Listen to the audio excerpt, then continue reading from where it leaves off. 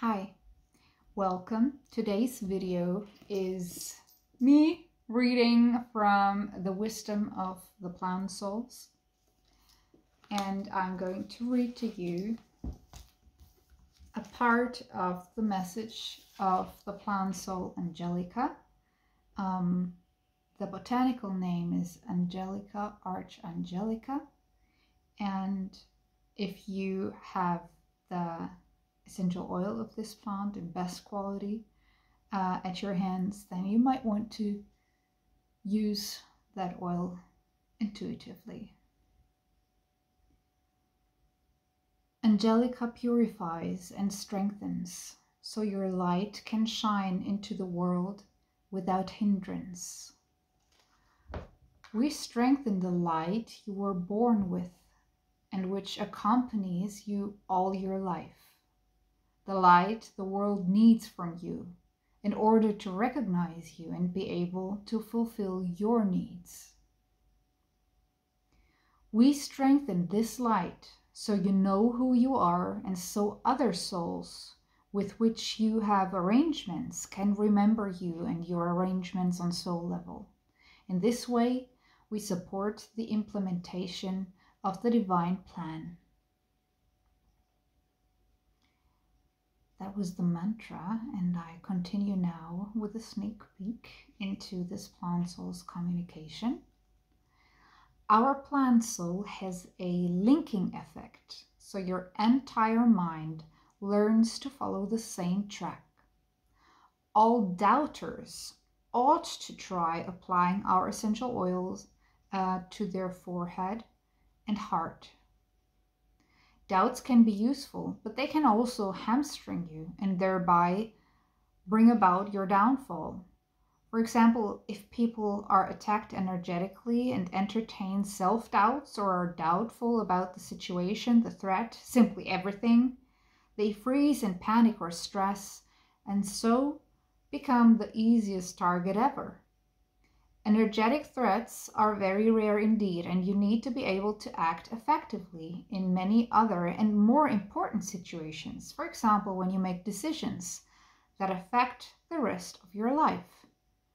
When you take too much time on a crossroad and try to think through every contingency in order to make the best possible choice, you will get discontent at some point when it is time to make the decision. When you are still not done thinking through all possible scenarios at that point, and when is that ever truly completed? Your discontentment, stress, and pressure increase more and more. Your mind is going to work even worse, and so you may make a truly bad decision out of anger and confusion because you no longer are truly in touch and contact with yourself.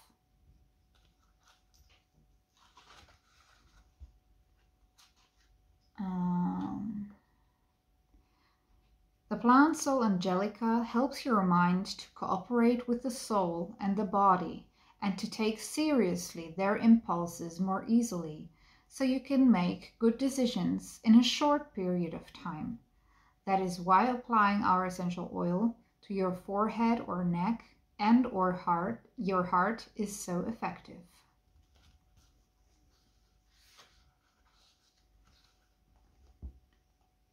Uh, I clearly do not read to you all of this thing that is in the book, but I jump uh, to the possible meaning of reactions to this essential oil's scent.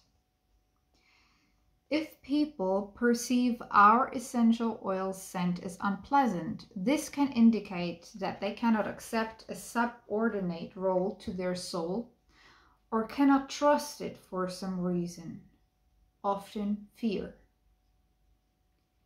And or try to keep control over everything by means of their analytic logical mind. They do so without being aware that the mind can only control a few limited aspects within you, at best. Often people who fear to lose control and who have a hard time to really enjoy and are correspondingly dissatisfied dislike our scent. If people love our scent, they can embrace it and our service, either because of experiences or because their soul is being in a key position in their system. So our vibrancy is very welcome indeed. There is more in this book. There are other videos too.